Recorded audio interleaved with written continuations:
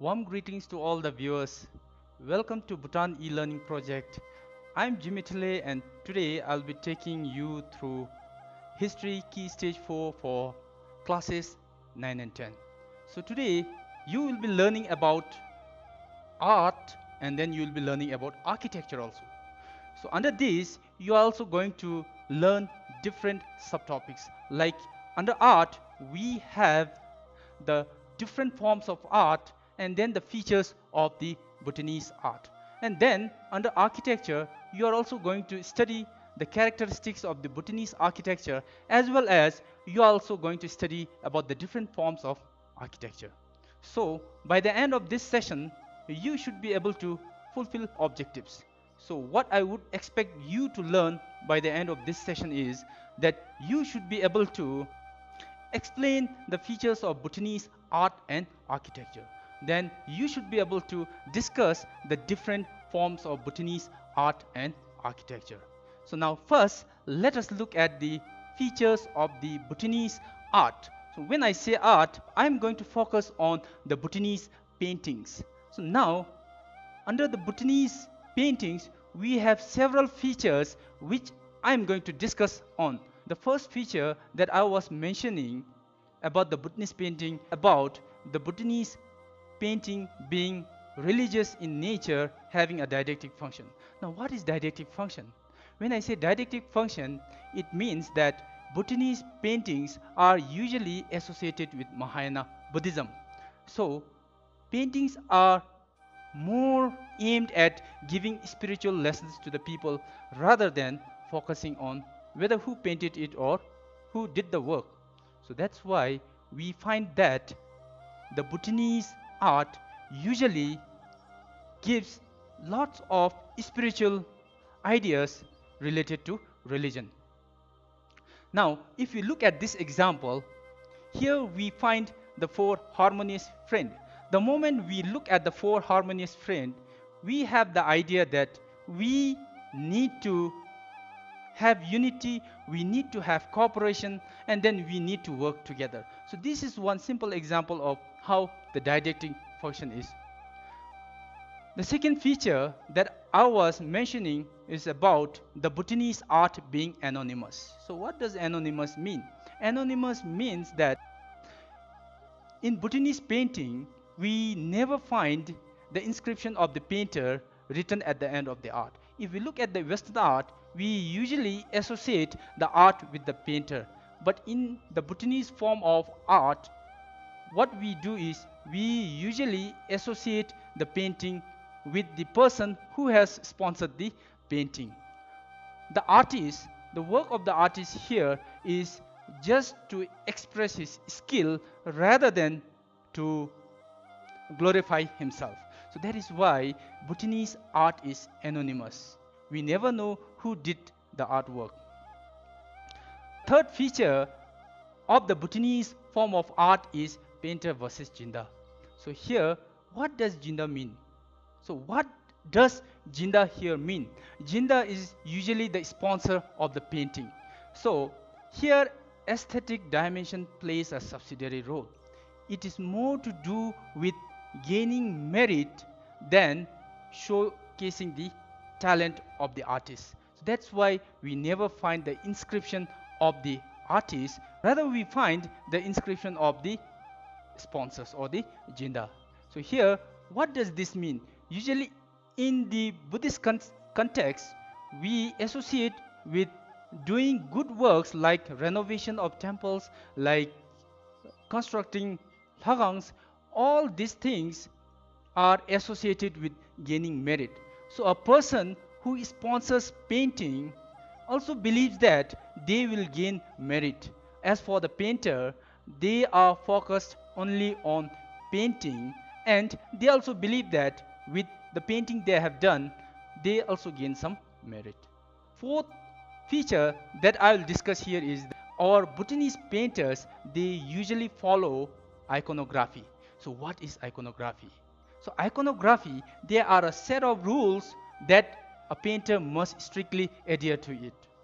If the painter goes beyond what they are meant to do, then they are usually associated with non-adherence to the iconography. So they consider this as a sin and it will nullify whatever work they have done. Now you have seen the features of Bhutanese painting. So here I pose you a question.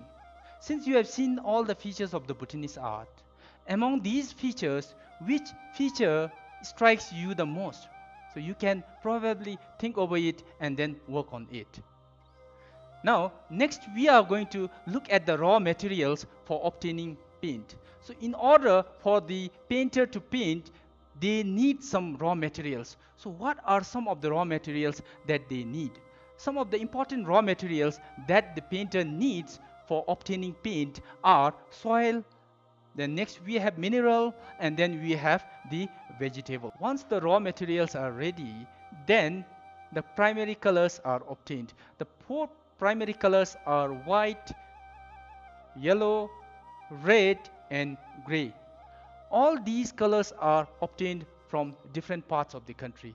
Like for example, white is obtained from Paro, then yellow is obtained from the areas of Gasa and Bumthang, then we have the red soil from Tashigang and Wangdi and then we have the gray soil which is obtained from Phuentsholing. All these primary colors, they are mixed together to form secondary colors. Now, the other raw material that is needed and is very essential for the paintings to be made is paint brushes or they are the paint brushes. Now, paint brushes, they are obtained from either the fur of the animal or they are in modern times made from synthetic ones. The paint brushes for finer and thinner lines are obtained from cat fur and for the thicker brushes they use the pig bristles. So now the next thing that we are going to look at is the different forms of painting. So what are the different forms of paintings? Now there are three different forms of painting. They are the statue painting, they are the wall painting, and then they are the scroll painting. So we are going to look at all these three forms of painting individually. So the first one that we are going to study is about the statue painting. So what is the statue painting? Usually we find the statue paintings in the temples, in the monasteries, in the dzongs, and of course in our private houses also. All these statues are either made from clay, they are made from bones, or they are made from the metal. Sometimes bronze is cast and then in the market today we mostly find the bronze statues. Now for the clay statues they are painted all over but when it comes to the statues that are made from either bones or the metal they are painted only on the eyes then on the head and on the hands just to highlight. Now let us look at what is wall painting. Wall paintings they are also known as frescoes or debri painting now, these wall paintings are mostly seen in temples, monasteries, and dzongs. So, in order to paint the wall, we have to follow some process. So, what are these processes? Now, firstly, the wall is plastered, then it is left to dry, and after that, on the dried wall, canvas is pasted, and then that canvas is also left to dry. After which, the paint is being done once it is fully dried. Sometimes after plastering the wall and it is left to dry, people they directly paint. There is no need for the canvas to be put upon. The third form of art is known as the scroll painting or the thangka painting. They are drawn on a canvas and they are stretched out, drawn on a wooden frame and then on that grid lines are drawn after which they follow the iconography so that the painting comes out as per the strict rules that they need to adhere. The scroll painting which is known as thangka they are either in the general size that we see in the homes and the temples and the larger size they are known as thongdrel. These thongdrels are the huge thangkas that are displayed only on occasions like Shabdrung Kuchoe, on occasions like Buddha's parinirvana, and the occasions that are associated with religion. So these thongdrel, the moment we see, it is believed that it is going to liberate us from the samsara. In order to make the thongdrel, we usually use the applique technique. So what is applique technique?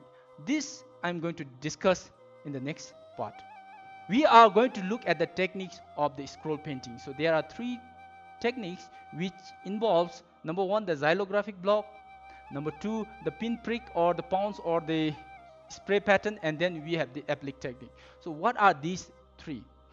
We have the xylographic block method where we carve out the letters or where we carve out the images that we want. Upon that, we spray the ink and then press it with either a canvas or a piece of paper upon which the image or the letters are being transferred. So that is xylographic block. Now the second one that we have is pounce or spray pattern or we can say it is the pinprick method. So here in this method what we do is we usually pinprick the stencil and then this stencil is transferred upon another paper whereby on a piece of cloth we put in the chalk or we put in powdered clay and then pounce upon the stencil whereby the image is directly transferred on another sheet. So that way the image is being reproduced. So this is the pinprick method. And the third and the final method of scroll painting is the applique technique. So what is the applique technique? In Thongdrel, we usually find the applique technique being made. So this applique technique is a kind of technique where embroidery is being used. So different pieces of clothes are stitched together and then together they are made into thongdrel or thangkas. In Dzongkha, we usually call that technique as tshemzo. Now we are done with the art part. Let us look at the architecture segment. So in this segment, first I will tell you a brief history of how architecture evolved in our country. And then we are going to look at the different features of the architecture as well as we are also going to look at the different forms as I have mentioned. So first, in order to know about the architecture, we need to understand a brief history about it. It is believed that in Bhutan, the first recorded forms of building happened during the time of Tibetan king known as Songtsen Gampo. It is mentioned in the Thadul and Yangdul book that Songtsen Gampo built two temples in Bhutan and they are Kichu Lhakhang in Paro and then Jampa Lhakhang in Bumthang. These two temples are said to be the oldest in Bhutan. From 11th to 17th century, we find that many eminent lamas have visited our country. Among those, one of the most popular builders at that time was Lam Ngawang Chogyal, who had built many temples in western Bhutan. We also find Thangthong Gyalpo building not only temples but bridges also. After that, we also find the arrival of Shabdrung who has introduced the Dzong system. So today, if we look at most of the temples and monastery around our country, we find that the basic pattern of these temples are usually associated with the Dzongs that have been built by Shabdrung. After the enthronement of our first king, we find that the royal family also took patronage in building different structures around our country. Now, let us look at the characteristics or the features of the Bhutanese architecture. So, what are some of the characteristics of Bhutanese architecture? So now, if we look at the Bhutanese architecture or any building, we find that there is a lavish use of woods. Then we also find that the window size, it increases with the storage and then we also find that the shapes of the windows are in trefoil and then we also find that walls are sloped and they are also whitewashed. So these are some of the features of the Bhutanese architecture. Now let us look at what are the different types of buildings that we see in our country. First one we have lhakhangs. So these lhakhangs they are usually one or two stories high and then they are covered with paintings inside. And around the lhakhang we also find an enclosed courtyard. Sometimes we also find the residence of the lam or the monks around the temple. And one striking feature of the temples around our country is that they have gilded ornament on the top of the roof and they are also known as the serto. Next one we have the monasteries so monasteries are larger in size as compared to temple so there are two types of monasteries they are the cluster type and they are the dzong type so what is the cluster type and what is the dzong type now in cluster type we see one or temple housed in a single building. Around that building, we also find the residence of the lama or the monks. The examples of the cluster type of monasteries we can see at Dzongdrakha in Paro and Phajoding in Thimphu. Then on the other side, we have the Dzong type of monastery with the basic pattern of Utse that is similar to the Dzong. So within that uh, Utse, we find many temples housing together. So around the central tower, we also find the residence of the monks and the lamas. So the best examples of monastery that is associated with the Dzong type is at Gangtey Gompa in Wangdi and then the Talo monasteries. They are based on the Dzong type of monastery.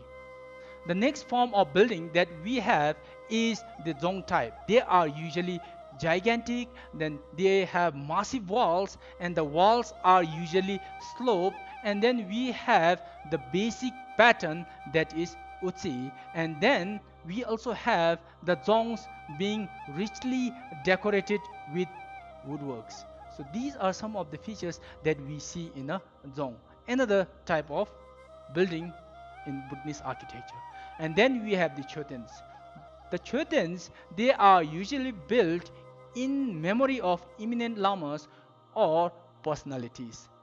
Like for example, we have the Thimphu Memorial Choten which is being built by Gyayum Ajifinsu Choten in memory of her son King Jigme Dorji Wangchuck.